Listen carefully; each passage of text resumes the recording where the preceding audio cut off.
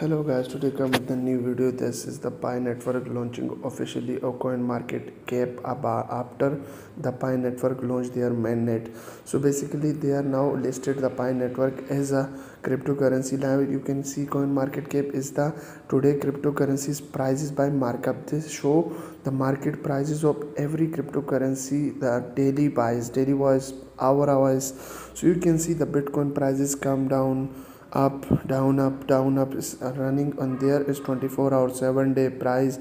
Binance coin uh, solana usdt cardano xrp everything what you want ethereum. So they show basically all the coin prices. Now we can check the uh, pi network because after the pi network launching their mainnet for demo so we can check uh, if they are uh, listed this pi network in their website or not. So we can uh, simply go on the search bar when you go on the search bar you can simply type pi not pelano.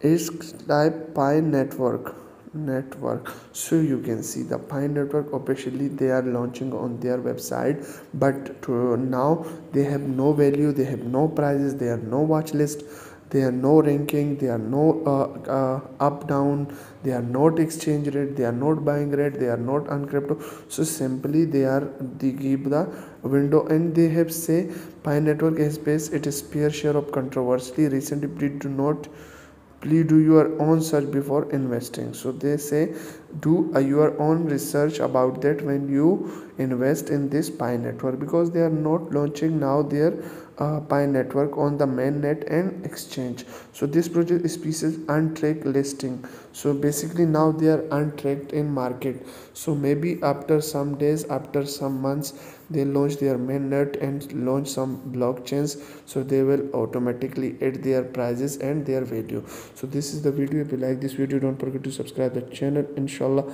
we will meet in the next video. Then wassalam